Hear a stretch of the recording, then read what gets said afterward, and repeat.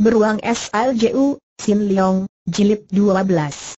Sedangkan Leong Chai Siang yang tengah sibuk menghadapi serangan Swatocu. Mulai keripuhan sendiri. Hatinya mulai goncang di mana dia yakin tidak mungkin bisa lebih lama lagi menghadapi Tocu dari pulau salju itu.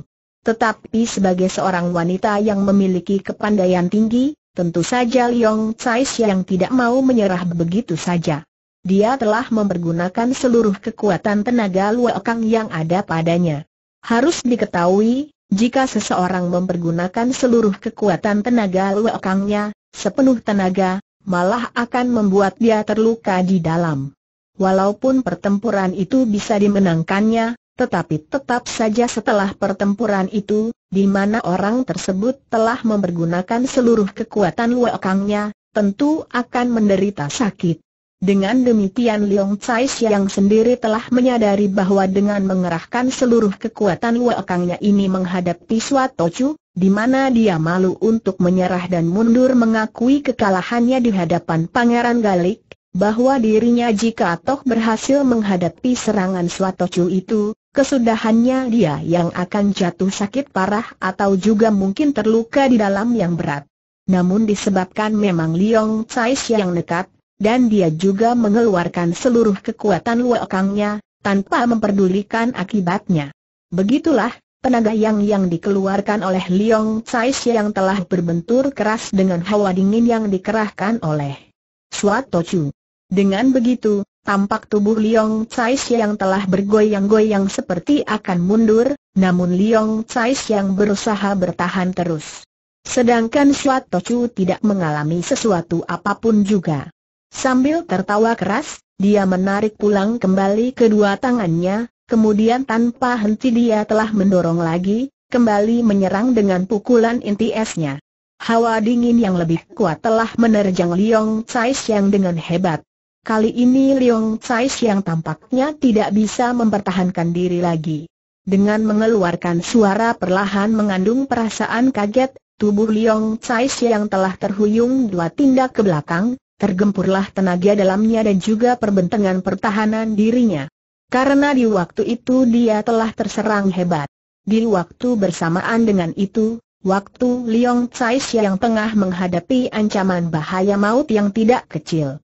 Telah berlari-lari seseorang, diiringi dengan suara bentakannya, Oh haha, makhluk kurang ajar yang ingin mengacau di sini tanpa kenal malu, Biar aku yang menghajar mampus dan orang itu bukan hanya berlari sambil berteriak tangannya digerakkan, dia memegang pundak Leong Chai Siang, menahan agar tubuh itu tidak mundur lebih jauh. Malah dari telapak tangannya telah keluarkan kekuatan luakang yang hebat sekali di mana telah disalurkan masuk ke dalam tubuh Leong Chai Siang. Untuk sejenak Leong Chai Siang memperoleh tenaga tambahan, tenaga luakangnya yang telah tergempur tadi, bisa disatukan kembali, dan ia jadi bisa berdiri tegak kembali. Malah hawa dingin yang seperti mengurung diri Liong Chai yang telah lenyap, tidak bisa menguasai dirinya lagi. Dengan buyarnya hawa dingin itu, maka Liong Chai yang bisa bergerak lebih leluasa. Berulang kali dia mengeluarkan suara erangan itu untuk memusatkan tenaganya. Dengan tambahan tenaga dari orang yang menempelkan telapak tangannya pada punggungnya, maka Liong Chai yang menggerakkan kedua tangannya, mendorong kepada Suat Chu. Suat Chu tertawa, ia melihat orang yang muncul membantu Liong Chai Xiang, sehingga nenek itu tidak terjungkal, adalah seorang Mongolia berpakaian sebagai pendeta. Ia tidak mengenal pendeta yang telah berusia cukup lanjut itu. Hanya ia heran juga bahwa kepandaian pendeta itu demikian tinggi. Karena Liong Chai yang telah mendorong ke arahnya ya dengan kekuatan yang berlipat dari tenaganya yang semula. Suatu Chu juga mempergunakan tenaga inti esnya jauh lebih kuat. Aduh teriak Liong Chai yang sambil menggigil keras. Karena waktu tenaganya bentrok dengan tenaganya inti es yang dipergunakan Suatu Chu, ia merasakan tenaganya itu buyar dan tenaganya itu bagaikan lenyap tidak berbekas. Malah tubuhnya seperti dibungkus oleh lapisan es lagi, ia menggigil dengan sekujur tubuhnya terasa nyeri. pendeta Mongolia yang muncul membantu Liong Tsai yang tidak lain dari Tiat Chu Ho atau waktu melihat keadaan Liong Tai Siang. Seperti itu, dia pun terkejut, karena walaupun berdiri di belakang Liong Tsai Siang, Toh Tiat Chu Atong merasakan sekujur tubuhnya dingin sekali terkena sambaran pukulan Suat Tochu. Cepat-cepat pendeta Mongolia itu menyambar tubuh Liong Tai Siang. Dia juga melompat ke samping, sehingga Liong Tsai yang bisa diselamatkan dari pengaruh tenaga dinginnya Suat Tochu. Toanio, kau beristirahat dulu biar aku yang menghadapinya kata Kok Sumongolia tersebut sambil melompat ke tengah gelanggang menghadapi Suat Tochu. Matanya mengawasi bengis, sambil bentaknya garang, siapa kau? Mengapa berani mengacau di istana Pangeran Suat Tochu tertawa dingin, ia tidak memandang sebelah mata pada pendeta ini. Walaupun dilihatnya Tiat Ho Atong memiliki kepandaian yang tinggi, malah lebih tinggi dari kepandaian Leong Chai Siang, Toh Suat Tochu tetap tidak menganggapnya sebagai lawan yang perlu dihadapi dengan sungguh-sungguh. Sebagai seorang tokoh sakti, tentu saja Suat Tochu merasa bahwa dirinya yang tertinggi kepandaiannya di kolong langit ini, karena Oye Yoksu, salah seorang dari kelima jago luar biasa di daratan Tionggoan yang pernah bertempur dengannya, tidak berdaya untuk merubuhkannya. Maka, mana dipandang sebelah mata, Tiat Chu Ho atau ini? Ke mana aku ingin datang, tidak ada seorang pun yang bisa melarangku. Ingin datang kemari, engkau tidak bisa melarangku. Jika memang engkau hendak mengurus diriku, nanti ku berikan kau Surat undangan dari Giam Leong suara Suat Tocu dingin sekali. Tiap Chu Ho Atong merupakan koksu negara, ia dihormati oleh rakyat dan Kaisar Mongolia, bahkan kepandaiannya pun tinggi luar biasa. Tidak biasanya ia dilayani dengan sikap seperti yang diperlihatkan Suat Tocu. Walaupun telah dilihatnya tadi betapa Suat Tocu membuat Liong Tsai yang jadi kehuakan seperti itu. Namun sama sekali Tiat Chu Ho Atong tidak jari. Malah dengan gusar ia mengebutkan ujung jubahnya, di mana kemudian kedua tangannya dirangkapkan, dengan sikap siap menyerang. Suatu Chu tetap berdiam saja mengawasi sikap Tiat Chu Ho Atong, ia merasakan sambaran dan dorongan kuat sekali dari ujung jubah Tiat Chu Ho Atong. Namun Suatu Chu hanya dengan memusatkan kuda-kuda kedua kakinya, lalu balas mendorong dengan tenaga inti esnya. Tiap Chu Ho Atong jadi terkejut, ia merasakan tubuhnya disambar angin yang dingin sekali, melebihi dinginnya es dan juga tubuhnya seperti terbungkus oleh lapisan es tetapi sebagai seorang yang memiliki kepandaian tinggi, di samping itu juga memang telah menguasai ilmu yoga dengan sempurna, Tiat Chu Ho Atong tidak jari dengan hawa dingin tersebut. Ia telah merangkapkan kedua tangannya. Kemudian memusatkan tenaga murni di tantiannya, lalu menggerakkan kedua tangannya itu. Dengan demikian tampak ia telah mengeluarkan hawa yang panas, yang bukan main. Dua kekuatan yang berlainan sifatnya itu. Yang satu dingin melebihi es, dan yang satunya lagi panas melebihi panasnya api telah saling bentur. Untuk orang-orang yang berkepandaian rendah, tentu mereka tidak mengetahui hebatnya bentrokan yang terjadi itu maka mereka hanya mengetahui bahwa kedua orang itu hanya mengadu kekuatan tenaga dalam.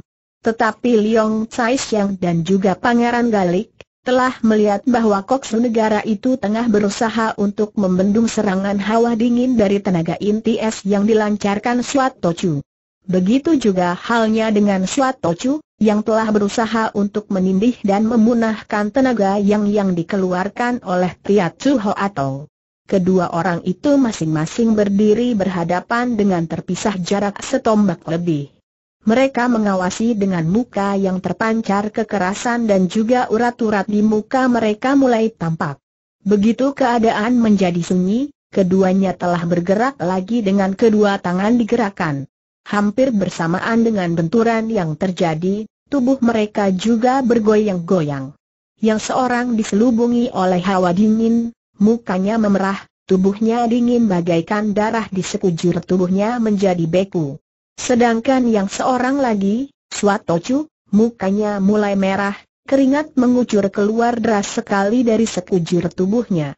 Dilihat dari keadaan seperti ini, Tampaknya Suat Chu juga tengah dikuasai hawa yang yang luar biasa panasnya. Tiap Chu Hoat Ong sama sekali tidak menyangka bahwa Suat Chu ini merupakan tokoh sakti yang mungkin sudah tidak ada duanya di kolong langit ini. Tadi memang ia telah melihatnya bahwa Suat Chu bukan orang sembarangan, namun sebagai koksu negara yang memiliki kemuliaan, tentu saja dia harus turun tangan membela Pangeran Galik. Hanya saja ia tidak menyangkanya bahwa suatu Chu demikian tangguh. Dalam beberapa kali gebrakan dengan saling menggebrakan tangan, mengadu tenaga dalam yang berlainan sifatnya itu tanpa saling bentur itu, Tiat Chu Ho Atong telah mengetahui bahwa lawannya ini sesungguhnya masih menang setingkat dari dirinya. Tetapi Tiat Chu Ho Atong tentu saja tidak mau menyerah begitu saja, lebih lagi ia memang merupakan seorang koksu, yang dianggap paling mulia di samping kaisar mereka. Walaupun harus mempertaruhkan jiwanya, Tiat Ho Atong tetap melindungi Pangeran Galik. Setelah merasakan bahwa tenaga yangnya itu semakin lama semakin tertindih oleh hawa dingin dari lawannya, Tiat Ho Atong mengeluarkan suara bentakan nyaring, di mana tubuhnya telah digetarkan dan bulu-bulu di sekujur tubuhnya seperti berdiri tegak pendeta ini telah mengeluarkan ilmu andalannya, yaitu Soboch, semacam ilmu yang telah diciptakannya dari intisari yoga dan intisari lekang di daratan Tionggoan ini, di mana 10 tahun lebih belakangan ini Tiat Chu Atong memang telah merampungkan ilmunya tersebut. Waktu ilmu itu belum merampung benar, Tiat Chu Atong tidak pernah mempergunakannya. Dan baru kali ini ia ingin mencobanya untuk dipergunakan menghadapi ilmu Swat Tochu. Soboch ternyata merupakan ilmu tenaga dalam yang luar biasa. Karena Tiat Chu Ho Atong telah berhasil melatih rampung, ia telah mencapai tingkat yang tinggi sekali, di mana ia bisa mempergunakan tenaga murninya sekehendak hatinya. Setiap kali ilmu tersebut digunakan, bulu-bulu di sekujur tubuh Tiat Chu Ho Atong berdiri, dari seluruh pori-pori kulitnya menguap semacam kekuatan, di mana munculnya tenaga itu bergelombang. Mula-mula perlahan, namun semakin lama semakin menjadi kuat. Yang lebih luar biasa lagi, jika tenaga tersebut memperoleh perlawanan, semakin kuat tenaga lawan, semakin kuat daya tolaknya, semakin lunak serangan lawannya, semakin ketat pula libatan tenaga dalam tiat Chu Atong. Dengan begitu, baik lawan yang berkepandaian tidak begitu tinggi atau memang lawan yang memiliki kepandaian yang tinggi sekali, jika telah terkena serangan itu, niscaya akan mengalami suatu bencana yang tidak kecil. Kini Tiat Chu Ho Atong memang bermaksud mencoba ilmunya itu, yang memang sebelumnya tidak pernah dipergunakan. Dengan tubuh menggigil, ia telah menggerakkan perlahan-lahan kedua tangannya. Soboch memang hebat, karena tidak lama kemudian hawa dingin yang mempengaruhi tubuh pendeta itu berangsur-angsur telah berkurang. Suat Tocu sendiri terkejut. Berulang kali ia mengempos semangat dan tenaganya untuk mengirim tenaga inti esnya. Namun setiap kali pula tenaganya itu seperti terbendung oleh suatu kekuatan.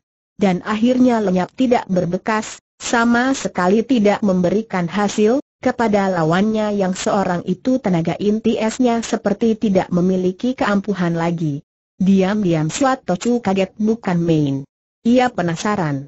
Karena sejak ia telah melatih sempurna tenaga inti esnya itu, tidak pernah ada yang sanggup menghadapinya. Terlebih lagi jika ia telah mempergunakan sampai tingkat ke-8. Namun sejauh itu Swat Tochu memang tidak mempergunakan sampai ke tingkat delapan begitu juga sekarang, dikala ia menghadapi Tiat Chu Hoa Tong, baru mempergunakannya sampai tingkat keenam. Namun melihat tenaga inti esnya itu tidak berpengaruh apa-apa terhadap Tiat Chu Hoa Tong, Swat Tochu menambah lagi kekuatan inti esnya itu, di mana ia telah mempergunakan kekuatan tingkat ketujuh maka hawa dingin yang mengurung Tiat Chu Hoat Ong semakin dingin dan lapisan es yang seperti akan membungkus tubuh Tiat Chu Hoat Ong semakin tebal juga. Namun Tiat Chu Hoat Ong dengan ilmu sobotnya itu juga telah mengerahkan kekuatan murninya, di mana ia menggetarkan tubuhnya semakin cepat juga, dan di saat itu tampak Tiat Chu Hoat Ong tengah berusaha membuyarkan seluruh pengaruh hawa dingin yang menerjang dirinya. Jika memang ia berhasil memunahkan hawa dingin itu, dan juga berhasil membendung kekuatan tenaga inti es yang dipergunakan Suatochu, berarti ia akan dapat segera membalas menyerang dengan ilmunya kepada Tocu Pulau Salju itu. Dengan semakin cepat dan kerasnya tubuh Tiat Chu Atong yang menggigil itu, dan juga bulu-bulu di sekujur tubuhnya yang semakin tegak berdiri dengan pori-pori kulit yang semakin besar terbuka, telah menyebabkan hawa yang muncul menguap dari tubuhnya itu semakin tebal. Daya pertahanannya semakin kuat, sehingga hawa dingin dari Suatocu tidak bisa mendekatinya, walaupun Suatocu telah mempergunakan ilmunya itu sampai tingkat ketujuh. Yohem dan Wong Put Leong yang tengah menyaksikan jalannya pertempuran itu dari tempat persembunyian mereka, memandang kagum. Itulah suatu pertempuran yang jarang sekali terjadi di dalam Kang Ou.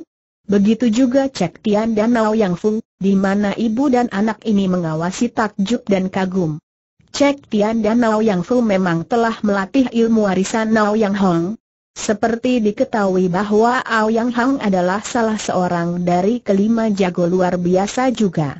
Dengan diwarisinya kepandaian tersebut, yang tertulis seluruh kepandaiannya di kitab yang telah diberikan kepada Cek Tian, berarti Cek Tian maupun putranya itu telah melatih dengan baik. Hanya saja, yang kurang buat Aoyang Fu adalah latihan dan pengalaman. Dan bagi Cek Tian, dia memang telah berusia cukup lanjut, Pula ia seorang wanita. Waktu Aoyang Hang menciptakan ilmunya itu untuk dipergunakan oleh laki-laki, maka tidak sesuai dipergunakan oleh wanita. Itulah sebabnya Cek Tian tidak bisa melatih diri lagi dengan sempurna. Pangeran Galik yang memiliki kepandaian yang tidak rendah, walaupun tidak setinggi kepandaian Tiat Chu Ho Atong, namun dia memiliki kepandaian yang tidak sembarangan. Ia juga memiliki pengetahuan yang luas, pengalaman yang cukup. Melihat jalannya pertempuran seperti itu, ia jadi kagum bukan main. Diam-diam di hatinya berpikir, orang aneh itu yang menjadi lawan Koksu itu memang benar-benar hebat. Kepandaiannya itu jarang sekali terdapat di dalam rimba perailatan. Jika saja dia bisa kutarik ke dalam tanganku, dia dapat diberikan kedudukan sebagai wakil ataupun sebagai pemimpin dari seluruh jago-jago yang bekerja di bawah perintahku, berpikir seperti itu, Pangeran Galik telah mengawasi jalannya pertempuran yang luar biasa itu dengan sikap bersungguh-sungguh. Namun hati kecilnya terus juga berpikir, memang belakangan ini kulihat ada gejala kurang baik pada Koksu. Sikapnya padaku tidak seperti beberapa waktu yang lalu. Walaupun dia selalu bersikap manis, namun di balik sikapnya yang manis itu lewat sinar matanya, tampak jelas dia seperti juga membenciku. Malah menurut laporan terakhir dari orang kepercayaanku, bahwa Koksu kemungkinan tengah menghimpun jago-jago di bawah kekuasaannya untuk melakukan sesuatu. Yang jelas dia ingin menindih pengaruhku karena berpikir begitu, maka Pangeran Galik telah mengawasi Koksu Tiatsu Ho Atong yang tengah memusatkan seluruh kekuatan tenaga sobotnya untuk membendung hawa dingin lawannya di mana Chu memang tengah mengerahkan tenaga inti esnya tersebut pada tingkat ketujuh. Tubuh Tiatsu Ho Atong tergetar cukup keras, karena di samping dia mengerahkan tenaga, lagi pula dia pun menerima gempuran yang hebat mengandung hawa dingin yang luar biasa. Jika memang suatu Chu hanya menyerang dengan gempuran tenaga biasa tentu Tiat Chu Atong akan dapat menghadapi dengan mudah mempergunakan sobotnya ini, tetapi justru di balik kekuatan tenaga dalam setiap gempuran suatu Chu, mengandung hawa dingin yang lebih dinginnya es, sehingga tubuh Tiat Chu Atong seperti juga akan dibungkus oleh lapisan es, yang tidak tampak sangat namun dingin sekali.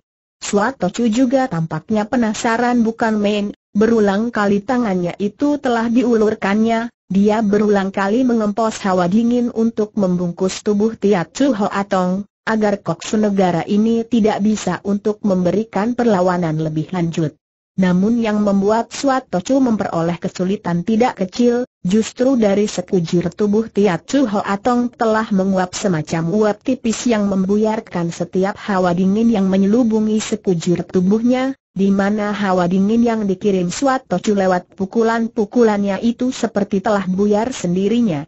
Pangeran Galik waktu itu masih berpikir lebih jauh, beberapa orang-orangku telah berhasil menyelidiki juga bahwa Koksu berusaha untuk merebut kedudukanku dan mengambil alih pengaruhku. Telah ada beberapa jago di bawah perintahku yang telah dipengaruhinya. Dia memang lihai dan memiliki kepandaian yang sempurna, dia merupakan saingan yang berat jika memang dia memiliki maksud-maksud yang tidak baik. Di samping aku harus hati-hati mengawasinya dengan ketat, aku pun harus berusaha menyelidiki terus apa yang dilakukan oleh Koksu akhir-akhir ini. Karena belakangan ini, dia jarang hadir dalam rapat-rapat yang kuadakan, di mana dia sering tidak berada di istana, dan telah pergi ke suatu tempat yang tidak ingin disebutkannya dan setelah berpikir begitu, tanpa dikehendakinya Pangeran Galik telah menghela napas berulang kali. Tetapi perhatiannya terhadap pertempuran yang tengah berlangsung dengan hebat antara Suat Tocu dan Tiat Chu Ho Atong tetap tercurahkan dengan baik dan dia pun merasakan menyambar-nyambarnya hawa dingin yang terpancarkan dari setiap pukulan yang dilakukan oleh Suat Chu pada Tiat Chu Ho Atong, sehingga si pangeran tersebut harus mundur menjauhi diri dari kalangan tiga tindak. Tiat Chu Ho Atong sendiri heran bercampur kaget. Heran karena dia tidak menyangka ada ilmu seperti itu, yang demikian luar biasa, memiliki hawa yang demikian dingin menggigilkan tubuh. Waktu dia mulai melatih sobotnya, hal itu tidak pernah terpikirkan olehnya. Dia memang melatih tenaga luakangnya yang bisa dipergunakan dengan leluasa, yaitu jika lawannya menyerang keras, maka perlawanan dari tenaga latihan sobotnya akan menolak lebih kuat dan keras. Jika lawan menyerang mempergunakan cara yang lunak, perlawanan itu akan melibat. Dengan lunak pula, sehingga tenaga lawan bisa dilibatkan dan dibalikan untuk menghantam lawan itu sendiri. Namun sama sekali Tiat Chu Atong tidak menyangka bahwa sekarang ada orang yang bisa menyerang dengan begitu kuat, di samping dalam tenaga gempurannya itu terkandung hawa yang demikian dingin, yang melebihi dinginnya es. Memang tenaga pukulan lawannya bisa dihadapinya, ditolaknya, namun hawa dingin itu yang seperti juga ingin membungkus tubuhnya, tidak bisa dilenyapkan oleh Tiat Chu Ho Atong, karena hanya hawa panas yang menguap dari sekujur tubuhnya, lewat tenaga latihan sobotnya, maka hawa dingin itu bisa dibuyarkan. Itu hanya untuk sedikit. Kemudian hawa dingin itu mengurung tubuhnya lagi. Buyar lagi, dan datang lagi. Begitu seterusnya tentu saja telah membuat Tiat Chu Ho Atong harus memutar otak mencari jalan untuk dapat menghadapi ilmu yang aneh seperti itu. Sedangkan Suat Tochu sendiri semakin lama semakin penasaran. Semakin cepat dia menggerakkan kedua tangannya semakin hebat hawa dingin yang berhamburan menerjang ke tubuh Tiat Chu Ho Atong. Di mana tampak Suat berusaha untuk membungkus sekujur tubuh Tiat Chu Ho Atong dengan pengaruh hawa dinginnya itu. Memang Suat juga merasakan betapa wap tubuh Tiat Chu Hoat Ong sering menolak padanya tenaga yang kuat sekali, mengembalikan tenaga gempurannya. Dengan demikian Suat juga kagum untuk kekuatan tenaga dalam yang dimiliki Koksu negara tersebut. Namun sebagai tokoh sakti yang memiliki ilmu yang luar biasa, yang seumurnya belum pernah bertemu tandingan, Suat Tocu mana mau menerima keadaan seperti ini begitu saja? Setelah gagal beberapa dengan serangannya, Swat Tochu merubah cara menyerangnya. Sekarang sambil menggerakkan terus kedua tangannya yang silih berganti menyerang kepada Tiat Chu Ho Atong, juga kedua kakinya telah melangkah menghampirinya, jarak mereka terpisah semakin dekat. Tiat Chu Ho Atong mengkerutkan alisnya. Manusia aneh, ini memiliki ilmu yang hebat luar biasa, siapakah dia? Tampaknya dia telah menguasai pusat inti bumi yang bisa dilatihnya dan bisa menyalurkan hawa yang demikian dingin. Aku harus berusaha merubuhkannya dengan segera. Karena jika tidak, sekali saja dia bisa menguasai diriku, di mana tubuhku terkurung oleh hawa dinginnya.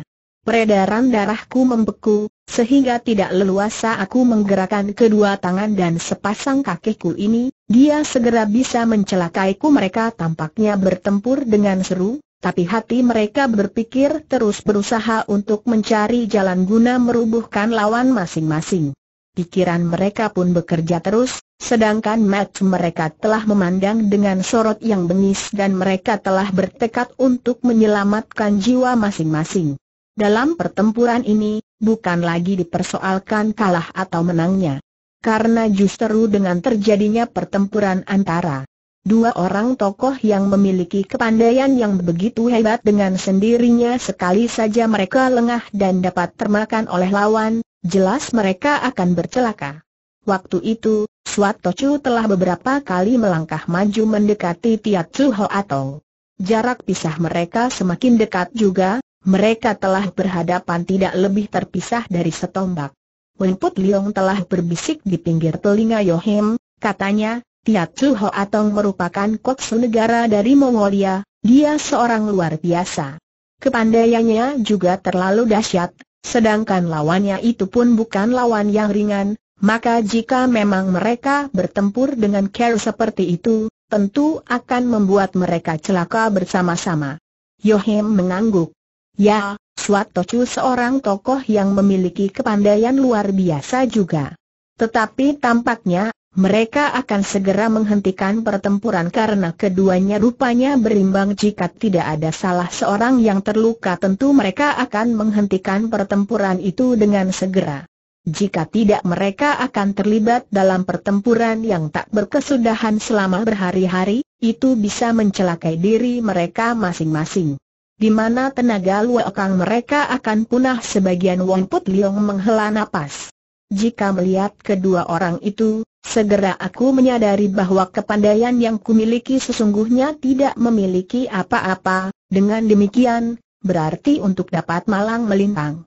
Dalam kalangan Kang Ou, memang tidak pantas untukku. Hai, Aku telah 20 tahun lebih berlatih diri namun kepandaian yang kami miliki tidak seujung kuku kedua orang itu setelah berkata begitu, muka Wan Put Leong jadi guram. Yohem tertawa. Mereka merupakan tokoh-tokoh yang hebat, sedangkan aku sendiri belum tentu bisa menghadapi mereka, Ciampu kata Yohem. Kepandaian mereka mungkin berimbang dengan kepandaian ayah ibu, Wan Put Leong menghela napas lagi. Ya, jika saja sekarang ini ada Yotai Hiap tentu mereka bisa dipisahkan, aku perlu diselamatkan keluar dan tempat ini, Yohem tersenyum. Walaupun ayah tidak mau mencampuri lagi urusan dalam dunia persilatan, tetapi aku sebagai anaknya tentu tidak akan membiarkan Ciampu terlantar di sini. Jangan khawatir, walaupun Pangeran Galik memiliki banyak pahlawan-pahlawannya yang gagah, Nanti aku menolongmu keluar dari tempat ini Wong Put Leong tersenyum pahit, katanya. Sesungguhnya aku tidak memikirkan perihal keselamatan diriku, hanya yang membuatku jadi tidak tenang adalah tempat penyimpanan harta karun ini. Jika sampai terjatuh ke dalam tangan Pangeran Galik, maka sia-sia belaka usahaku, selama ini beberapa kali Wong Put Leong menghela napas lagi, wajahnya semakin guram saja. Waktu itu Yohem ingin menghiburnya lagi, tetapi dia dikejutkan oleh suara teriakan Tiat Chu Ho Atong di luar ruangan, di mana tampak Tiat Chu Ho Atong sambil memutar kedua tangannya itu berulang kali untuk mendesak Suatu Chu, dia telah mengeluarkan pekik yang mengguntur. Hebat cara dia menyerang, demikian dahsyat cara dia mendesak, sehingga tenaga gempuran yang disalurkan oleh suatu Chu bagaikan terbentur dengan lapisan dinding yang tebal sekali, dan berbalik malah menghantam suatu Chu sendiri. Pemilik pulau es itu tidak berdiam diri saja, dia telah mengeluarkan suara tertawa bergelak-gelak yang nyaring kemudian katanya, memang hebat sekali kepandaian lawanku ini, sungguh menggembirakan. Sungguh menggembirakan dan sambil berkata begitu, Tampak Suat Chu telah mengempos semangatnya. Dia telah menerjang lagi dengan kedua tangan dimajukan lurus ke dada lawannya di samping itu tenaga gempuran yang dipergunakannya semakin hebat. Tiap Chu Ho juga mengempos semangatnya. Kedua jago yang memiliki kepandaian begitu luar biasa, telah berhadapan dengan tubuh menggigil. Jika Tiat Chu Ho Atong mulai dikuasai oleh hawa dingin yang membuatnya menggigil, namun muka dan tubuhnya basah oleh butir-butir keringat akibat pengerahan hawa tenaga murni sobotnya, maka waktu itu Suat Chu juga terhuyung-huyung dengan tubuh bergoyang-goyang seakan-akan ingin jatuh. Tapi kedua kakinya tidak berubah kedudukan, di mana dia tetap berada di tempatnya. Dengan demikian, kedua orang ini memang tengah saling memusatkan. Seluruh kekuatan mereka yang terhebat, berusaha untuk saling menindih lawannya. Dalam keadaan tegang seperti itu, di mana dua orang tokoh sakti tengah mengadu kekuatan untuk mempertaruhkan mati hidupnya jiwa mereka, dari dalam ruangan terdengar suara seruan tertahan seorang gadis. Kemudian tampak berlari keluar seorang gadis berusia tujuh atau delapan belas tahun, di mana gerakan tubuhnya gesit sekali, dan dia telah melangkah mendekati Pangeran Galik. Dia pun telah memanggil, ayah Pangeran Galik telah menoleh dan tersenyum, katanya, kau Sasana. Pergilah kau masuk kembali, di sini ada orang jahat, nanti jika urusan telah selesai, aku akan segera menemuimu tetapi gadis cantik jelita itu, seorang gadis Mongolia, yang ternyata merupakan puteri dari Pangeran Galik, yang bernama Sasana itu telah tersenyum dengan manis. Tidak ayah katanya menjeleng perlahan. Justru aku ingin menyaksikan keramaian. Jika memang ayah memaksa aku masuk ke istana, maka biarlah untuk selanjutnya aku tidak mau makan dan minum ayah itu kewalahan, dia memang sangat memanjakan puterinya tersebut, yang merupakan putri tunggalnya, jadi terlalu manja. Akhirnya Pangeran Galik telah mengangguk. Baiklah, tetapi jika memang keadaan tidak mengizinkan, engkau harus meninggalkan tempat ini. Sebab bisa membahayakan dirimu katanya. Sasana mengangguk. Ayahku seorang pahlawan raja, memiliki pengaruh dan kekuasaan besar. Juga gagah perkasa. Siapa yang berani menghina aku menyahuti putri itu dengan manja dan memperlihatkan sikap jenaka dengan meleletkan lidahnya. Pangeran Galik tersenyum, dia menarik tangan puterinya agar berdiri di sampingnya. Kemudian ayah dan gadisnya itu telah menyaksikan lebih lanjut pertempuran yang tengah berlangsung antara Suat Tocu dengan Tiat Chu Ho Atong. Sedangkan Ouyang waktu melihat munculnya gadis itu, telah memandang dengan mata, tidak berkedip. Memang baru pertama kali ini dia telah melihat gadis secantik itu di mana selain pakaiannya yang reboh, juga demikian cantik jelita. Matanya yang gemerlapan, bagaikan kerat kerlipnya bintang-bintang di langit, sikapnya yang manja dan luwes itu, di samping dengan kejelitaannya yang memukau benar-benar merupakan seorang gadis yang sempurna kecantikannya. Lama dia memandang ke arah gadis itu, sampai suatu kali Sasana telah menoleh kepadanya, dan telah tersenyum pada pemuda bertubuh pendek kecil itu. Hati Yang Fu tergoncang keras, mukanya merah, dia juga balas tersenyum, namun segera membuang pandang ke arah pertempuran di tengah gelanggang. Jantungnya berdegup keras sekali. Ibunya Cek Tian telah melihat sikap putranya. Ia menarik lengan baju anaknya itu, bisiknya, dia putri musuh besar kita, matamu jangan jelalatan seperti itu Yang Fu hanya mengiyakan dengan pipinya yang berubah merah lagi. Dia jengah ibunya mengetahui lagaknya tadi. Waktu itu Tiat Chu Ho Atong telah mengeluarkan suara bentakan lagi, tangan silih berganti mengebut ke arah depannya, pada suatu Chu. Setiap kali dia menggerakkan salah satu tangannya, yang digerakkan perlahan dan lambat sekali, bagaikan tangannya itu berat bukan main. Kedua kaki Tiat Chu Ho Atong telah melesak beberapa ding di lantai. Dan lantai yang terdiri dari batu hijau itu telah hancur, kemudian kaki itu semakin melesak ke dalam. Setiap kali Tiat Chu Ho Atong menggerakkan kedua tangannya, setiap kali itu pula kedua kakinya melesak semakin dalam sampai akhirnya telah melesak sebatas betisnya. Suatu waktu itu keadaannya tidak separah Tiat Chu Ho Atong. Namun dia pun tidak kurang berbahayanya, karena dirinya seperti juga terancam oleh kekuatan luekangnya Tiat Chu Hoat Ong setiap waktu. Jika ia memang lengah, tentu dirinya akan terluka parah. Serangan hawa dingin yang terpancar dari setiap pukulannya itu seperti juga sudah tidak memiliki pengaruh apa-apa untuk Tiat Chu Hoat Ong lagi. Sekujur tubuh Tiat Chu Hoat Ong bagaikan telah terlindung dan terlapis oleh kekuatan sobotnya yang menguap hawa panas yang semakin tebal juga. Tetapi Suat Chu tidak mau menerima keadaan seperti itu, karena dia penasaran bukan main. Beberapa kali dia telah mengempos semangatnya. Walaupun memang terlihat dia menang dalam satu tingkat itu dari Tiat Chu Atong, namun sulit sekali baginya untuk dapat merubuhkan koksu negara itu dalam waktu yang singkat sekali. Sedangkan Tiat Chu Ho Atong sendiri memang telah menyadari, tidak mungkin dia bisa merubuhkan lawannya, namun dia pun tidak mungkin bisa dirubuhkan lawannya.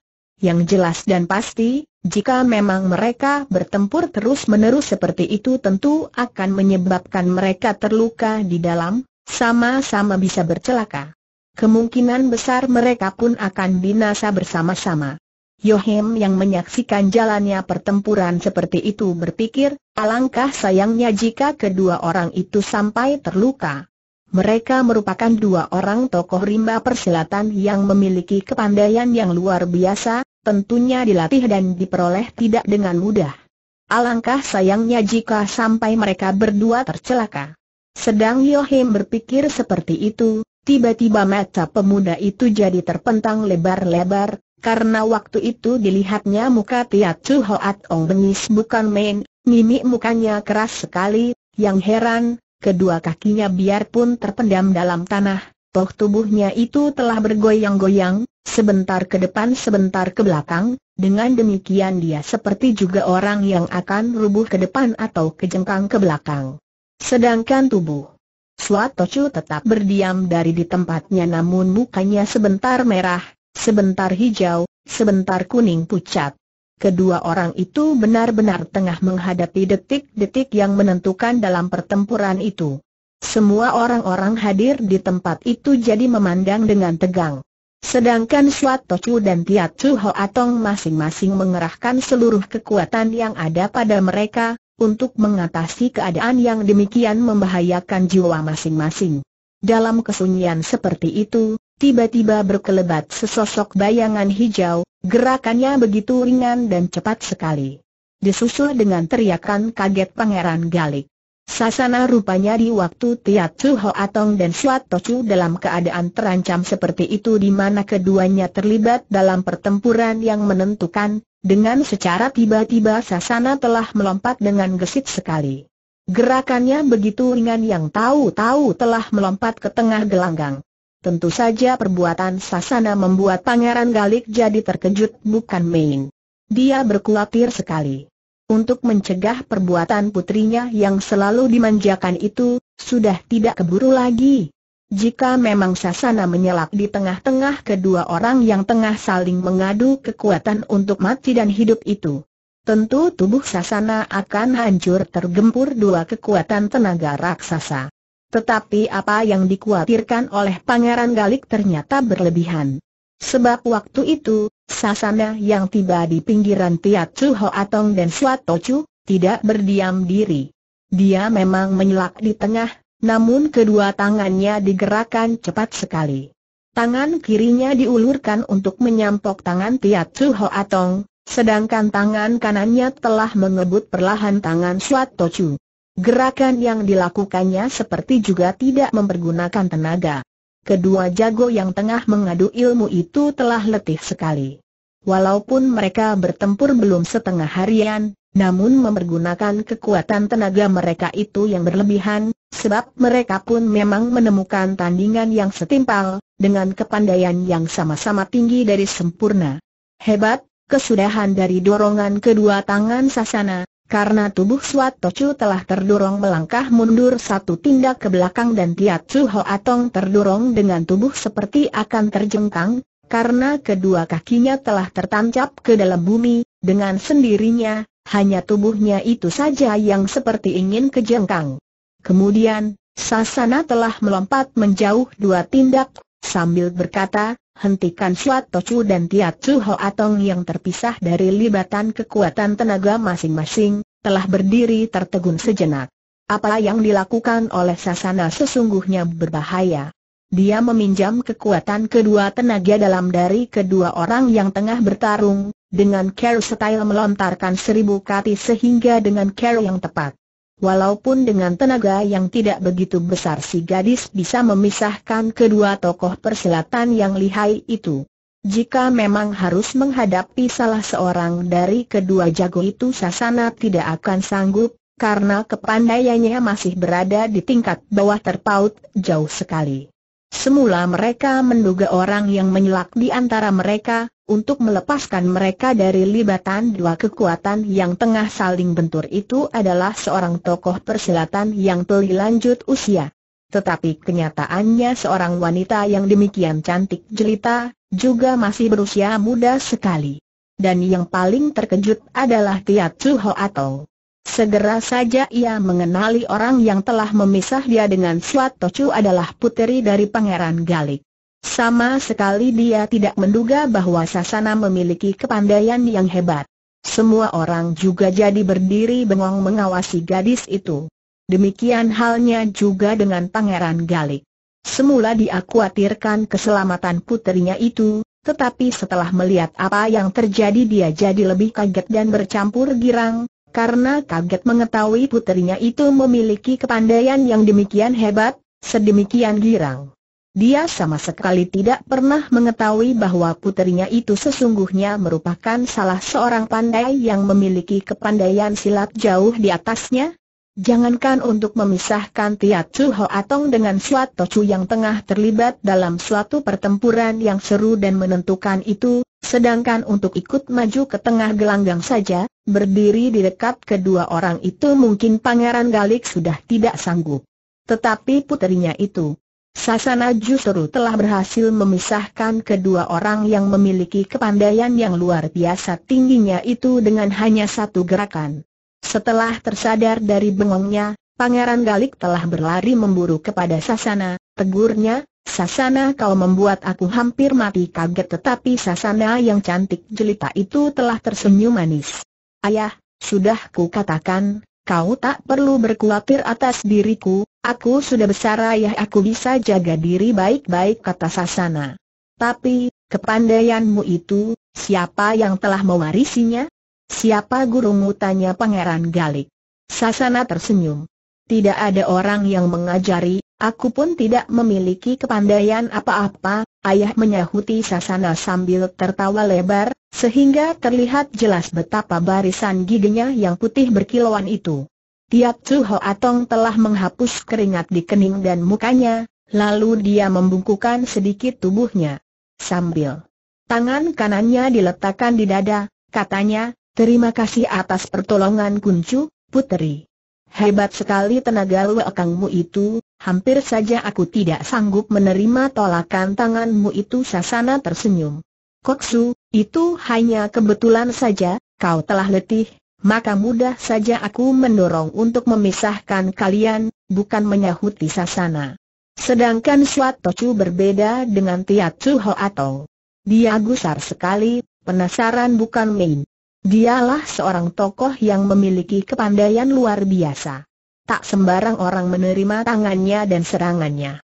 Tetapi ketika di waktu dia tengah memusatkan kekuatan hebat untuk menindih Tiat Chu Atong, si gadis yang muda usia itu, didengarnya telah dipanggilnya oleh Tiat Chu Atong sebagai kuncu, puteri, dengan sekali gerakan tangannya berhasil mendorongnya sampai mundur satu langkah ke belakang, kuda-kuda kedua kakinya juga tergempur.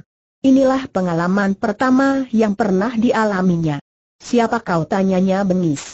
Atau kau memang ingin menggantikan orang Mongolia si gundul itu untuk berurusan denganku Sasana tersenyum manis. Maaf, maaf paman katanya cepat dengan sikap yang cenaka. Jangan paman marah. Aku hanya ingin memisahkan kalian saja.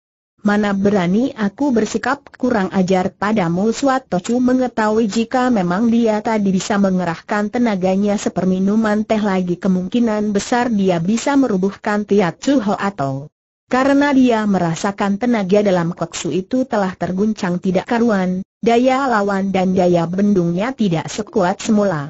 Dalam keadaan seperti itu Tiat Chu Ho memang telah jatuh di bawah angin. Tapi siapa sangka, gadis ini telah memisahkan mereka. Dengan demikian, jelas si gadis bukan memisahkan mereka, hanya sengaja menolongi Tiat Chu Ho Atong. Rupanya Sasana juga mengetahui, jika pertempuran itu berlangsung beberapa saat lagi lamanya. Tentu Tiat Chu Ho Atong akan bercelaka. Suatu Chu mendengus dingin. Dia merupakan golongan tua, tidak bisa dia turun tangan terhadap gadis muda jelita itu yang termasuk golongan muda. Namun hatinya mendongkol dan penasaran sekali, maka dia menggerakkan tangan kanannya, plak batu gunung yang ada di sampingnya telah ditamparnya semplak besar sekali, meluruk jadi abu. Itulah tamparan yang mengandung tenaga yang luar biasa kuatnya. Hem, beritahukan siapa gurumu kata Suatu Chu dingin. Suruh dia keluar untuk bertemu denganku karena melihat gadis ini memiliki luakang yang luar biasa, jelas gurunya itu seorang lihai yang memiliki kepandaian sangat tinggi sekali. Sasana telah bersenyum. Maafkan aku telah berlaku kurang hormat.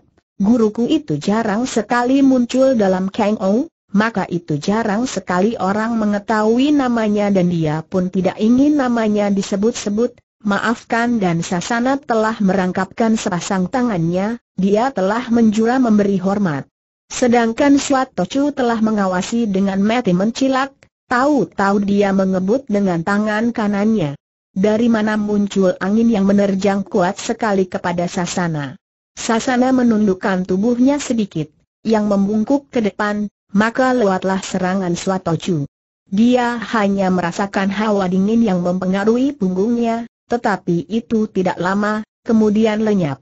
Hebat kepandaianmu, usiamu masih muda namun engkau bisa memunahkan serangan itu dengan mudah.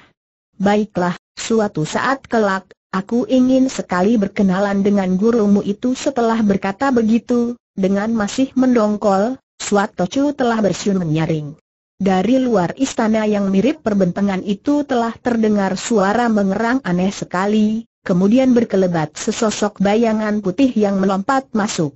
Ternyata itulah seekor biruang, yang tak lain dari biruang salju peliharaan Suat Chu. Kemudian dengan gerakan yang ringan sekali, Suat Chu telah melompat ke punggung biruang itu. Dia duduk di punggung biruang tersebut yang membawanya melompat dinding yang tinggi itu, meninggalkan tempat tersebut. Sedangkan Pangeran Galik telah menghela napas dalam-dalam kemudian menoleh kepada Yang Fu dan Cek Tian, tanyanya, kalian telah menimbulkan kekacauan di tempat ini, dosa kalian tidak ringan. Tangkap kedua orang itu dan perintah yang terakhir itu ditujukan kepada anak buahnya. Cek Tian telah tertawa dingin, sama sekali dia tidak takut. Malah katanya, HMMM kami berani datang kemari berarti kami memang bersedia untuk menerima apa yang akan terjadi pada diri kami. Kami akan mempertaruhkan jiwa kami untuk kebinasaanmu ini tetapi Yang Fu mengambil sikap lain dengan ibunya. Walaupun tubuhnya bercacat, ukurannya yang pendek seperti anak kecil itu, namun otaknya tidak demikian dangkal, dia cerdik sekali.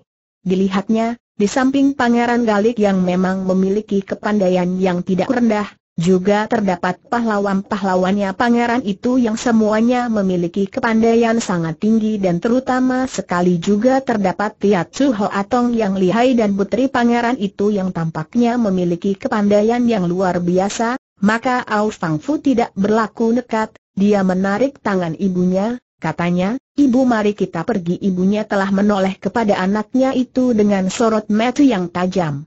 Apa kau bilang tanyanya, dia pun telah melihat pahlawan-pahlawannya Pangeran Galik telah mengurung mereka.